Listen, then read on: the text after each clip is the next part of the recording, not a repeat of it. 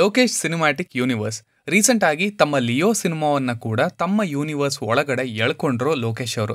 ಅದನ್ನ ಮಾಡಿದಂಥ ರೀತಿ ಇಟ್ಟಂಥ ಕನೆಕ್ಷನ್ ಅಷ್ಟೊಂದು ಸ್ಯಾಟಿಸ್ಫೈಯಿಂಗ್ ಆಗಿ ಇರಲಿಲ್ಲ. ತುಂಬ ಸೂಪರ್ಫಿಷಿಯಲ್ ಆಗಿ ಇತ್ತು. ಇನ್ನ ಡೆಪ್ನ ಕೊಡಬಹುದಿತ್ತು ಅನ್ನೋದು ತುಂಬ ಜನಗಳ ಕಂಪ್ಲೇಂಟ್ ಅದು ಒಂದು ಕಡೆ, ಅದಾಯಿತು, ಮುಗಿದು ಹೋಯಿತು. ಆದರೆ ಈ ಯೂನಿವರ್ಸ್ನ ಇಂಟ್ರೆಸ್ಟಿಂಗ್ ಆಗಿ ಮಾಡೋದಕ್ಕೆ, ಇದಕ್ಕಾಗಿ ಕಾಯೋದಕ್ಕೆ, ಇದರಲ್ಲಿ ಹಲವಾರು ವಿಷಯಗಳನ್ನಂತೂ ಲೋಕೇಶ್ ಅವರು ಎಸ್ಟಾಬ್ಲಿಷ್ ಮಾಡಿದ್ದಾರೆ ಆಲ್ರೆಡಿ ಆ್ಯಂಡ್ ಅವುಗಳ ಮೇಲೆ ಚೆನ್ನಾಗಿ ಕಾನ್ಸಂಟ್ರೇಟ್ ಮಾಡಿದರೆ ಸಾಕು. ಇದು ಡೆಫಿನೆಟ್ಲಿ ಒಂದೊಳ್ಳೆ ಯೂನಿವರ್ಸ್ ಆಗಿ ನಿಂತ್ಕೊಳ್ಳುತ್ತೆ ಮುಂದಿನ ಸಿನಿಮಾಗಳಿಂದ.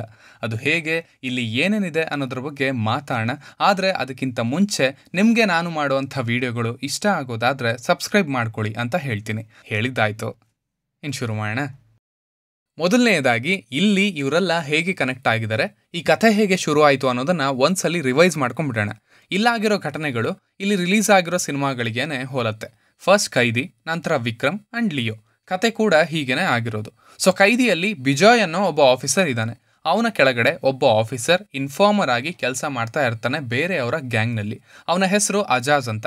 ಇವನು ಇದ್ದದ್ದು ಅನ್ಬೂನ ಗ್ಯಾಂಗ್ನಲ್ಲಿ. ಸೊ, ಅವನು ಡ್ರಗ್ ಇರೋ ಜಾಗದ ಬಗ್ಗೆ ಹೇಳ್ತಾನೆ. ಸುಮಾರು ಒಂಬೈನೂರು ಟನ್ನಷ್ಟು. ಅದನ್ನ ಬಿಜಾಯ್ ಸೀಸ್ ಮಾಡ್ತಾನೆ ಕೂಡ. ಸೊ, ಇದರಿಂದ ಅನ್ಬು ರೊಚ್ಚಿಗೆದ್ದು ಈ ವಶಪಡಿಸ್ಕೊಳ್ಳೋದ್ರಲ್ಲಿ ಇನ್ವಾಲ್ವ್ ಆಗಿದ್ದಂಥ ಅಷ್ಟು ಆಫೀಸರ್ಸ್ನ ಸಾಯಿಸಬೇಕು ಅಂತ ಪ್ರಿಪೇರ್ ಆಗ್ತಾನೆ. ಹಾಗೆಯೇ ಪೊಲೀಸರು ಮಾಡ್ತಿದ್ದಂಥ ಪಾರ್ಟಿಯಲ್ಲಿ ಅಲ್ಲಿರೋ ಡ್ರಿಂಕ್ಸ್ಗೆ ಡ್ರಗ್ಸ್ನ ಬೆರೆಸಿ ಅವರನ್ನೆಲ್ಲ ಎಚ್ಚರ ತಪ್ಪಿಸ್ತಾನೆ. ಆದರೆ ಬಿಜಾಯ್ ಡ್ರಿಂಕ್ಸ್ ಮಾಡಿರೋದಿಲ್ಲ. ಸೊ ಇವರನ್ನೆಲ್ಲ ಈಗ ಸೇಫ್ ಮಾಡೋ ಕೆಲಸ ಅವನ ಮೇಲೆ ಬರುತ್ತೆ. ಆ್ಯಂಡ್ ಆವಾಗ ಎಂಟರ್ ಆಗೋದೇ ದಿಲ್ಲಿ. ಆವಾಗಿನ್ನು ತನ್ನ ಹತ್ತು ವರ್ಷದ ಜೈಲು ಶಿಕ್ಷೆಯನ್ನು ಮುಗಿಸ್ಕೊಂಡು ಬಂದಿರ್ತಾನೆ. ಅಂಡ್ ತನಗೆ ಗೊತ್ತಿಲ್ಲದೇನೆ ಈ ಫೈಟ್ನಲ್ಲಿ ಅವನು ಸೇರ್ಕೊಳ್ಬೇಕಾಗತ್ತೆ. ಆಮೇಲೆ ಏನಾಯಿತು ಅನ್ನೋದು ನಿಮಗೆಲ್ಲ ಗೊತ್ತೇ ಇದೆ.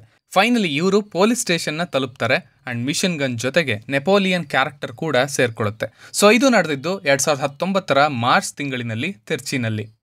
ಈಗ ವಿಕ್ರಮ್. ಬಿಜಾಯ್ನ ಕೆಳಗಡೆ ಇನ್ನೊಬ್ಬ ಆಫೀಸರ್ ಕೂಡ ಇರ್ತಾನೆ, ಇನ್ಫಾರ್ಮರ್ ಆಗಿ. ಅವನ ಹೆಸರು ಪ್ರಭಂಜನ್ ಅಂತ. ಅವನು ಕೂಡ ಡ್ರಗ್ ಮೂಟೆಗಳನ್ನು ಶಿಫ್ಟ್ ಮಾಡಿ ಅದರ ಇನ್ಫಾರ್ಮೇಷನ್ನ ಬಿಜಾಯ್ಗೆ ಕೊಟ್ಟಿರ್ತಾನೆ. ಬಟ್ ಅನ್ಫಾರ್ಚುನೇಟ್ಲಿ ಅವನ ಐಡೆಂಟಿಟಿ ಗೊತ್ತಾಗಿ ಅವನನ್ನ ಸಂಧಾನಂ ಹಾಗೆ ಅವನ ಜೊತೆ ಇರೋ ಪವರ್ಫುಲ್ ವ್ಯಕ್ತಿಗಳು ಸಾಯಿಸ್ತಾರೆ. ಅಂಡ್ ಈ ಕಡೆ ಈ ಡ್ರಗ್ ಬಸ್ನಲ್ಲಿ ಇನ್ವಾಲ್ವ್ ಆಗಿದ್ದಂಥ ಆಫೀಸರ್ಗಳನ್ನೆಲ್ಲ ಸಾಯಿಸ್ತಾ ಬರೋ ಟೈಮ್ನಲ್ಲಿ ಬಿಜಾಯ್ನ ಹೆಂಡತಿ ಮಕ್ಕಳನ್ನ ಕೂಡ ಸಾಯಿಸ್ಬಿಡ್ತಾರೆ. ಅಂಡ್ ಅಲ್ಲಿಂದ ಅವನು ಬಂದು ಒಂದು ಟೀಮ್ನ ಸೇರ್ಕೊಳ್ತಾನೆ. ಅದೇ ಈ ಗೋಸ್ಟ್ ಟೀಮ್. ಪ್ರಭಂಜನ್ ವಿಕ್ರಮ್ನ ಮಗ.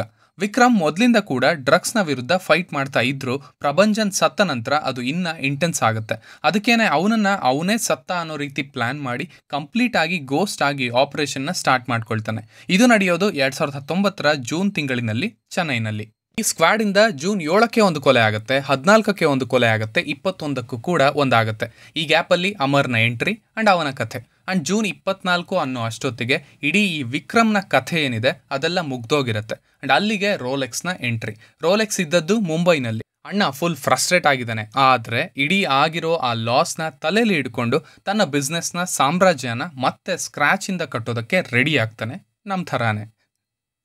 ಎನಿವೇಸ್ ಈಗ ಲಿಯೋ ಲಿಯೋನಲ್ಲಿ ಖೈದಿನಲ್ಲಿ ಇದ್ದ ಕಾನ್ಸ್ಟೇಬಲ್ ನೆಪೋಲಿಯನ್ನ ಎಂಟ್ರಿ ಮಾಡಿಸಿದ್ದಾರೆ. ಆ ಮಿಷನ್ ಗನ್ ಅವನೇ ಯೂಸ್ ಮಾಡಿ ಪೊಲೀಸ್ ಸ್ಟೇಷನ್ನ ಉಳಿಸ್ತಾ ಅನ್ನೋ ಕ್ರೆಡಿಟ್ ಎಲ್ಲ ಇವನಿಗೇನೆ ಬಂದಿರುತ್ತೆ. ಅಂಡ್ ಅದರ ನಂತರ ಅವನನ್ನು ಹಿಮಾಚಲ್ ಪ್ರದೇಶಕ್ಕೆ ಟ್ರಾನ್ಸ್ಫರ್ ಮಾಡಲಾಗುತ್ತೆ. ಅದು ಕೂಡ ಲಿಯೋ ಒಬ್ಬ ತಮಿಳು ಬರೋ ಆಫೀಸರ್ ಇದ್ದರೆ ಕಳಿಸಿ ಅಂತ ಕೇಳಿದ್ದಕ್ಕೆ. ರಿಟೈರ್ ಆಗೋದಕ್ಕೆ ಇನ್ನ ಅರವತ್ತು ದಿನಗಳಷ್ಟೇ ಇರುವಂಥ ಟೈಮ್ನಲ್ಲಿ ಲಿಯೋ ಹತ್ರ ಬರ್ತಾನೆ ಅಂಡ್ ಅವನ ಫ್ಯಾಮಿಲಿನ ಕಾಪಾಡೋದ್ರಲ್ಲಿ ಸಹಾಯ ಮಾಡ್ತಾನೆ ಕೂಡ.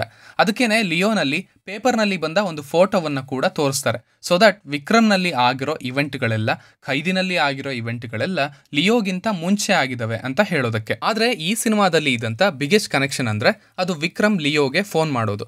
ಆಗಿನ್ನು ದತುರಾ ಪ್ಲಾಂಟ್ನ ದಾಸ್ ಅಂಡ್ ಕೋ ಅಡ್ಡವನ್ನು ಬ್ಲಾಸ್ಟ್ ಮಾಡಿ ಬಂದಿರ್ತಾನೆ ಲಿಯೋ. ಅಂಡ್ ಆವಾಗ ವಿಕ್ರಮ್ ಫೋನ್ ಮಾಡಿ, ಒಂದನ್ನು ಬ್ಲಾಸ್ಟ್ ಮಾಡಿದರೆ ಎಲ್ಲ ಮುಗಿಯೋದಿಲ್ಲ. ಇಡೀ ಇಂಡಿಯಾದಲ್ಲಿ ಸಾಕಷ್ಟಿವೆ ಅಂತ ಹೇಳೋದು, ಟೀಮ್ಗೆ ವೆಲ್ಕಮ್ ಮಾಡೋದು. ಆ್ಯಂಡ್ ಇನ್ನೂ ಇಂಟ್ರೆಸ್ಟಿಂಗ್ ವಿಷಯ ಅಂದರೆ, ಹಾಗೆ ಹೇಳ್ತಾ ಕೊನೆಯಲ್ಲಿ ನಾನು ಯಾರು ಅಂತ ಗೊತ್ತಲ್ವಾ ಅಂತ ಹೇಳಿ ಆ ಕನ್ವರ್ಸೇಷನ್ನ ಮುಗಿಸ್ತಾನೆ. ಸೊ ಅಲ್ಲಿಗೆ ಲಿಯೋಗೆ ಹಾಗೆ ವಿಕ್ರಮ್ಗೆ ಮೊದಲೇ ಪರಿಚಯ ಇದೆ. ಅವರಿಗೆ ಮೊದಲೇನೆ ಒಬ್ಬರೊಬ್ಬರ ಬಗ್ಗೆ ಗೊತ್ತಿದೆ ಅಂತ ತಿಳಿಸಿದ ಹಾಗೆ. ಸೊ ಹೀಗಂದಾಗಲೇ ನಾವು ಇದನ್ನು ಗೆಸ್ ಮಾಡೋದಕ್ಕೆ ಯಾವ ಯಾವ ವರ್ಷಗಳಲ್ಲಿ ಏನೇನಾಯಿತು ಅನ್ನೋದನ್ನು ತಿಳ್ಕೊಳ್ಳೋದು ಮುಖ್ಯ ಆಗುತ್ತೆ. ವಿಕ್ರಮ್ನ ಕಡೆಯಿಂದ ನೋಡಿದರೆ ಸಾವಿರದ ಒಂಬೈನೂರ ಎಂಬತ್ತಾರರಲ್ಲಿ ಬ್ಲ್ಯಾಕ್ ಸ್ಕ್ವಾಡ್ ಅನ್ನೋದು ಶುರು ಆಯಿತು ಒಂದಷ್ಟು ಆಪರೇಷನ್ಸ್ನ ಮಾಡ್ತು.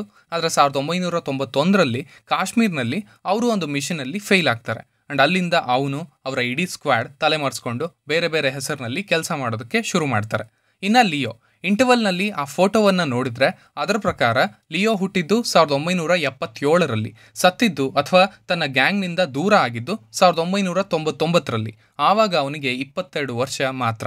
ಆ್ಯಂಡ್ ಅಲ್ಲಿಂದ ಅವನು ಈ ಡ್ರಗ್ಸ್ ಗ್ಯಾಂಗ್ಸ್ಟರ್ ಈ ಯಾವುದೇ ವಿಷಯಗಳಲ್ಲಿ ತಲೆ ಹಾಕಿಲ್ಲ. ಆ್ಯಂಡ್ ಹಿ ಬಿಕೇಮ್ ಪಾರ್ಥಿಬನ್ ಸಾವಿರದ ಒಂಬೈನೂರ ತೊಂಬತ್ತೊಂಬತ್ತು ಒಂಥರ ಬಾರ್ಡರ್ ಲೈನ್ ಅಂತಾನೆ ಹೇಳ್ಬೋದು. ಅವನ ಲೈಫ್ಗೂ ಹಾಗೆ ಎಲ್ ಸಿ ಯುಗೆ ಡೆಪ್ತ್ ಕೊಡುವಂಥ ವಿಷಯದಲ್ಲೂ ಕೂಡ. ಇನ್ನು ದಿಲ್ಲಿ. ದಿಲ್ಲಿ ಎರಡು ಸಾವಿರದ ಹತ್ತೊಂಬತ್ತಕ್ಕೆ ಜೈಲಿನಿಂದ ಹೊರಗೆ ಬಂದಿದ್ದಾನೆ. ಹತ್ತು ವರ್ಷದ ಶಿಕ್ಷೆ ಅಂದರೆ ಎರಡು ಸಾವಿರದ ಒಂಬತ್ತಕ್ಕೆ ಅರೆಸ್ಟ್ ಆಗಿದ್ದು. ಅದಕ್ಕಿಂತ ಮುಂಚೆ ಏನು ಮಾಡ್ತಿದ್ದ? ಯಾರಿಗೂ ಗೊತ್ತಿಲ್ಲ. ಆದರೆ ಪೊಲೀಸ್ ಸ್ಟೇಷನಲ್ಲಿ ಅಡೈಕಳಂ ಒಂದು ಮಾತನ್ನು ಹೇಳ್ತಾನೆ. ಇವನು ಸುಮ್ಮನೆ ಬಂದಿಲ್ಲ, ಇವನು ಇಲ್ಲಿ ಫೈಟ್ ಮಾಡ್ತಾ ಇರೋದಕ್ಕೆ ಕಾರಣ ಇದೆ ಅಂತ. ಸೊ ಅದೇನು ಅನ್ನೋದು ಎರಡು ಸಾವಿರದ ಒಂಬತ್ತರ ತನಕ ನಡೆದ ಕಥೆಯಲ್ಲಿ ತಿಳಿಯುತ್ತೆ. ಅಂದರೆ ಕೈದಿ ಟೂನಲ್ಲಿ ಇನ್ನು ರೋಲೆಕ್ಸ್. ಅಂಟಮ್ಮ ಎರಡು ಸಾವಿರದ ಹತ್ತೊಂಬತ್ತರಲ್ಲಿ ಬಂದು ಒಂದು ಡೈಲಾಗ್ನ ಹೊಡಿತಾನೆ. ಈ ಇಡೀ ಸಾಮ್ರಾಜ್ಯನ ಕಟ್ಟೋದಕ್ಕೆ ಇಪ್ಪತ್ತೇಳು ವರ್ಷ ಬೇಕಾಯಿತು ಅಂತ. ಸೊ ಎರಡು ಸಾವಿರದ ಹತ್ತೊಂಬತ್ತರಿಂದ ಇಪ್ಪತ್ತೇಳು ವರ್ಷ ಅಂತ ತಗೊಂಡ್ರೆ ಸಾವಿರದ ಒಂಬೈನೂರ ತೊಂಬತ್ತೆರಡಕ್ಕೆ ಹೋಗುತ್ತೆ. ಸೊ ಆವಾಗ ರೋಲೆಕ್ಸ್ಗೆ ಎಷ್ಟು ಏಜ್ ಆಗಿತ್ತು ಅನ್ನೋದು ಗೊತ್ತಿಲ್ಲ. ಆದರೆ ಅವನು ಶುರು ಮಾಡಿದ್ದು ಸಾವಿರದ ಒಂಬೈನೂರ ತೊಂಬತ್ತೆರಡರಲ್ಲಿ ಅಂತ ಅಂದ್ಕೊಳ್ಬೋದು ಆ್ಯಂಡ್ ಇಂಟ್ರೆಸ್ಟಿಂಗ್ ಪಾಯಿಂಟ್ ಅಂದರೆ ಸಾವಿರದ ಒಂಬೈನೂರ ತೊಂಬತ್ತೊಂದರಲ್ಲಿ ಆ ಬ್ಲ್ಯಾಕ್ ಸ್ಕ್ವಾಡ್ ನಾಶ ಆಗುತ್ತೆ. ಆ್ಯಂಡ್ ಸಾವಿರದ ಒಂಬೈನೂರ ತೊಂಬತ್ತೆರಡರಲ್ಲಿ ಈ ಯೂನಿವರ್ಸ್ನಲ್ಲಿ ಅತ್ಯಂತ ಪವರ್ಫುಲ್ ಆಗಿರೋ ವ್ಯಕ್ತಿ ಎಸ್ಟಾಬ್ಲಿಷ್ ಆಗೋದಕ್ಕೆ ಶುರು ಆಗ್ತಾನೆ. ಇದೊಂಥರ ಒಳ್ಳೆ ಡೀಟೇಲಿಂಗ್ ಒಳ್ಳೆ ಡೆಪ್ನ ಕೊಡುತ್ತೆ ಯೂನಿವರ್ಸ್ಗೆ. ಮೆಟಫಾರಿಕಲಿನೂ ಪ್ರಾಕ್ಟಿಕಲ್ ಆಗಿನೂ. ಪ್ರಾಬಬ್ಲಿ ಬ್ಲ್ಯಾಕ್ ಸ್ಕ್ವಾಡ್ ಇದ್ದಿದ್ರೆ ಇದು ಆಗ್ತಿತ್ತಾ ಗೊತ್ತಿಲ್ಲ. ಆ್ಯಂಡ್ ಈಗ ಅದೇ ಬ್ಲ್ಯಾಕ್ ಸ್ಕ್ವಾಡ್ನ ವಿಕ್ರಮ್ ಇದರ main hero so from a right a perspective that's a good basement ಈ ಇಡೀ ಯೂನಿವರ್ಸ್ಗೆ ಇನ್ನು Rolex and Das and co including Leo so ಸಾವಿರದ ಒಂಬೈನೂರ ತೊಂಬತ್ತೆರಡರಿಂದ ಶುರು ಆಗಿದ್ದು ರೋಲೆಕ್ಸ್ನ ಪ್ರಯಾಣ. ಅಲ್ಲಿ ಅಷ್ಟೊತ್ತಿಗೆ ಆಲ್ರೆಡಿ ಸ್ವಲ್ಪ ಎಸ್ಟಾಬ್ಲಿಷ್ ಆಗಿದಂಥ ದಾಸ್ ಅಣ್ತಮ್ಮಂದ್ರ ಜೊತೆ ಇವನು ಕೆಲಸ ಮಾಡಿದನ. ಆ್ಯಂಡ್ ಅವನದೇ ವಯಸ್ಸಿನಲ್ಲಿದ್ದಂಥ ಲಿಯೋ ಜೊತೆ ಫ್ರೆಂಡ್ಶಿಪ್ ಇತ್ತ. ಇದ್ರ ಬಗ್ಗೆ ಎಲ್ಲ ನಾವು ರೋಲೆಕ್ಸ್ ಸ್ಟ್ಯಾಂಡಲೋನ್ ಫಿಲ್ಮ್ನಲ್ಲಿ ಅಥವಾ ಲಿಯೋ ಟೂನಲ್ಲಿ ನೋಡಬೇಕಿದೆ. ಆ್ಯಂಡ್ ಈಗ ಲಿಯೋ ಫ್ಲ್ಯಾಶ್ ಬ್ಯಾಕ್ ಫೇಕ್ ಆಗಿರೋದ್ರಿಂದ ಈ ಎಲಿಮೆಂಟ್ನ ತಂದು ರೋಲೆಕ್ಸ್ ವರ್ಸಸ್ ಲಿಯೋ ಅಂತ ಒಂದು ಒಳ್ಳೆ ಡೆಪ್ನ ಕೊಟ್ಟಿದ್ರೆ ಅದು ಕೂಡ ಚೆನ್ನಾಗಿರುತ್ತೆ. ಬಟ್ ಅವರ ಮಧ್ಯೆ ಏನೇ ಆಗಬೇಕಿದ್ರು ಅದೆಲ್ಲ ಸಾವಿರದ ಒಂಬೈನೂರ ತೊಂಬತ್ತೊಂಬತ್ತರ ಒಳಗಡೆನೆ ನಡೆದಿರಬೇಕು. ಅದೊಂಥರ ಬಾರ್ಡರ್ ಲೈನ್ ಇದ್ದ ಹಾಗೆ. ಸೊ ಇಷ್ಟೆಲ್ಲ ವಿಷಯ ಇದೆ. ಇಷ್ಟು ಒಳ್ಳೆ ಅವಕಾಶಗಳಿವೆ. ಎಲ್ಲವನ್ನ ಎಸ್ಟಾಬ್ಲಿಷ್ ಮಾಡೋದಕ್ಕೆ ಅದನ್ನು ಟೈಮ್ ತಗೊಂಡು ಕರೆಕ್ಟಾಗಿ ಮಾಡಬೇಕು ಲೋಕೇಶ್ ಅವರು. ಈಗ ನೆಕ್ಸ್ಟ್ ಬರ್ತಾ ಇರೋದು ಕೈದಿ ಟು ಆ್ಯಂಡ್ ಅದು ಶುರು ಆಗೋದು ರೋಲೆಕ್ಸ್ ಒಂದು ಬೌಂಟಿ ಕೊಡ್ತಾನಲ್ಲ? ಈ ಲಾಸ್ಗೆ ಕಾರಣ ಅದನ್ನ ಎತ್ತಕೊಂಡು ಬನ್ನಿ ಅಂತ. ಸೊ ಅಲ್ಲಿಂದಾನೆ ಶುರು ಆಗತ್ತಂತೆ. ಸೊ ಈಗ ದಿಲ್ಲಿ ಉತ್ತರ ಪ್ರದೇಶಲ್ಲಿ ತನ್ನ ಮಗಳ ಜೊತೆ ಇದ್ದಾನೆ. ಆ್ಯಂಡ್ ಅವನ ಫ್ಲ್ಯಾಶ್ ಬ್ಯಾಕ್ ಜೈಲಿನಲ್ಲಿ ಏನೇನಾಯಿತು ಆ್ಯಂಡ್ ಈಗ ನಡೆಯೋ ಅಟ್ಯಾಕ್ಗಳು ಆ್ಯಂಡ್ ಮೇ ಬಿ ವಿಕ್ರಮ್ನ ಪರಿಚಯ, ಇವೆಲ್ಲ ಕೈದಿ ಟೂನಲ್ಲಿ ಆಗುತ್ತೆ. ಆ್ಯಂಡ್ ದೆನ್ ರೋಲೆಕ್ಸ್ ರೋಲೆಕ್ಸ್ನ ಇಡೀ ಜರ್ನಿಯನ್ನು ಕವರ್ ಮಾಡೋದು, ಅವನ ಕಥೆ, ಅವನ ಕನೆಕ್ಷನ್ಸ್ ಅವನ ಪವರ್ ಇದನ್ನೆಲ್ಲ ಅಲ್ಲಿ ಎಸ್ಟಾಬ್ಲಿಷ್ ಮಾಡೋದು. ಈವನ್ ದಾಸ್ ಅಂಡ್ ಕೋ ಹಾಗೆ ಲಿಯೋ ಜೊತೆ ಕನೆಕ್ಷನ್ ಇದ್ದರೆ ಅದನ್ನು ಇಲ್ಲಿ ತೋರಿಸ್ಬೋದು. ಇಲ್ಲ ಲಿಯೋ ಟೂನ ಪ್ಲ್ಯಾನ್ ಮಾಡಿದರೆ ಆ ಭಾಗ ಅಲ್ಲಿಗೆ ಹೋಗುತ್ತೆ.